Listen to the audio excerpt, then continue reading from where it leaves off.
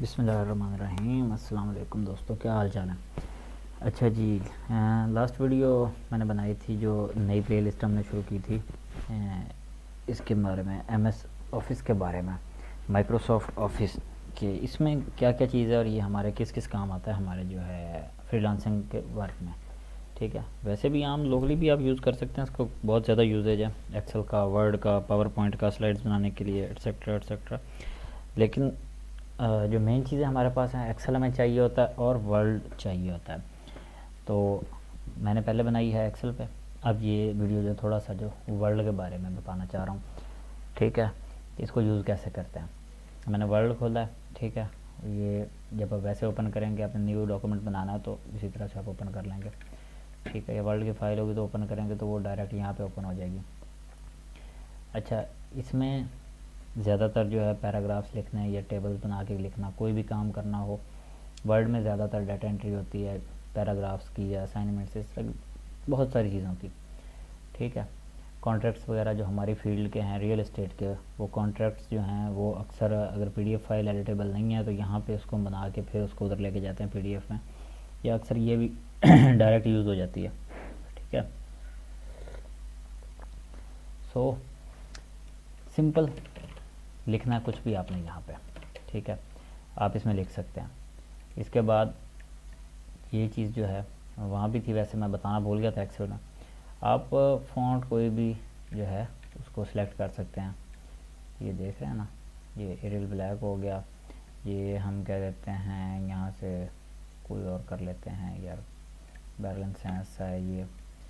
यानी कि इसमें फ़ॉन्ट्स वगैरह हैं, ये साइज़ है, आप इसको साइज़ चेंज कर सकते हैं कि आप कितना रखना चाह रहे हैं हेडिंग के लिए साइज़ हम कितना दे रहे हैं, उसके बाद हमारी सब हेडिंग कितनी होगी और जो डाटा है बॉडी है पीछे इसकी, उसके लिए हमें कितना साइज़ चाहिए। ठीक है? साइज़ चेंज वहाँ से कर सकते हैं, यहाँ से भी आप लोग कर सकते हैं। ये राइट क्लिक किया राइट क्लिक करके ये साइज़ आ गया यहाँ पे। ये इंक्रीज़ फॉन्ट साइज़ यहाँ से हम कंट्रोल शिफ्ट प्लस से भी कर सकते हैं। और कंट्रोल शिफ्ट और जो यहाँ मैथ में यूज़ होता था ना ये बड़ा है, छोटा है, वो निशान होता था छोटा सा, वो देखो ना, आगे आ रहा है। शिफ्ट प्लस साइन आ रहा है इस तरह से वी साइड पे टेढ़ा गया हुआ। ठीक है? बोल्ड इसको कर दें, इसको इटैलिक कर दें, इसके अंडरलाइन कर दें। ये यू उसके नीचे लाइन लगी तो अंडरलाइन का होता है। ठीक है? ये आप चेंजेस कर सकते हैं। ठीक हो गया। स्टाइल्स आप यहाँ से चेंज कर सकते हैं कि आपको कौन सा चाहिए स्टाइल ये देख रहे हैं? ये देखें ये देखें। ठीक हो गया। और यहाँ पे क्या होता है, अगर आप लाइनिंग में जाना चाह रहे हैं ये मैंने एंटर किया नेक्स्ट डॉट बन गया, यहाँ पे सॉरी तो चेंज हो गया ना। हाँ ये देखें यहाँ मैंने लिखा टू हो गया, ये थ्री डॉट्स बन गया, ठीक है ना।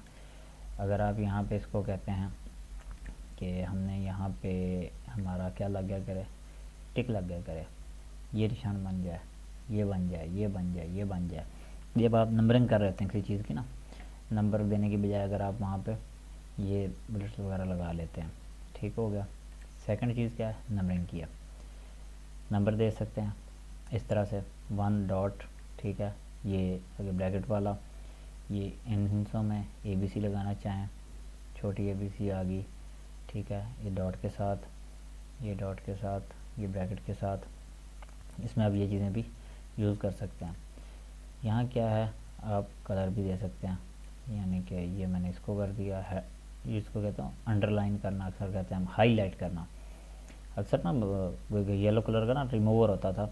तो हमें टीचर्स भी पढ़ाते थे, लेकिन मुझे याद है, मेरे वालद साहब वकील थे ना तो जब वो स्टडी कर रहे होते थे ना अपने ला की बुक्स या कोई केस की किसी की तैयारी कर रहे होते थे तो वो अंदर से ना इस तरह से हाईलाइट करते थे अपने जो उनको पॉइंट्स चाहिए होते थे। तो ये वो हाईलाइटर है भाई। ये ये हाईलाइट कर दिया, ठीक है ना? ये हाईलाइटर है। यहाँ पे कहाँ गया? वो भाई अल्लाह के बंदे, किधर गायब हो गया? ये देखें, ठीक है? ये हाईलाइटर है। ये क्या फॉन्ट कलर है? आप इसको कलर को चेंज कर सकते हैं। ये हाईलाइटर को पहले ख़त्म करना पड़ेगा भाई। नो कलर ओके ये इसको हमने कर दिया ग्रीन ठीक हो गया? ग्रीन हो गया। या इसका कोई और कलर चेंज करना चाह रहे हैं तो आप वो भी चेंज कर सकते हैं। ठीक है?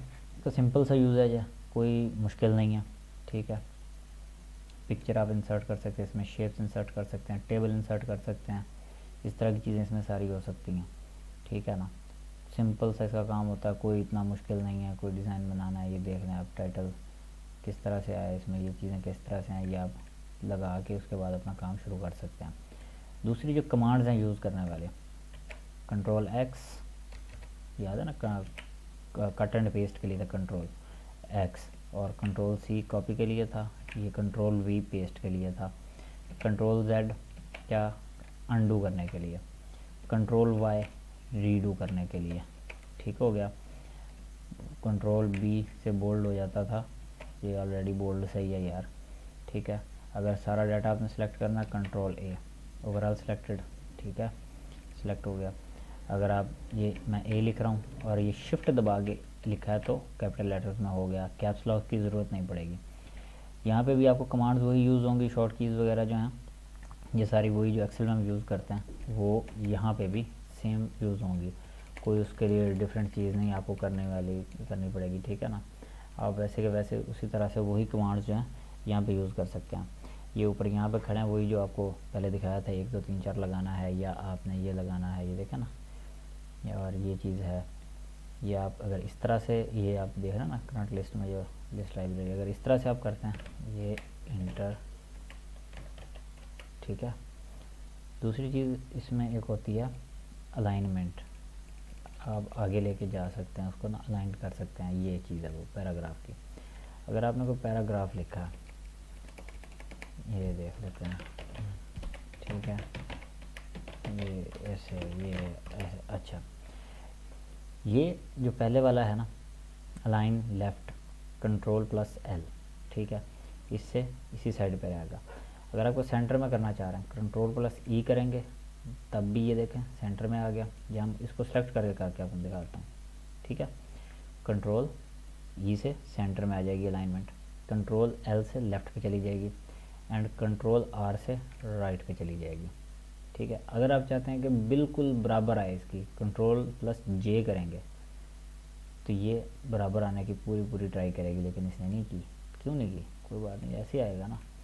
ठीक है? ये देखा ये देखा, ये इसका इजीली जो आप इसको अलाइन कर सकते हैं। जो भी आपने पैराग्राफ लिखा होगा, आप अपने हिसाब से उसको सेट कर सकते हैं कि उसको कहाँ से कहाँ होना चाहिए।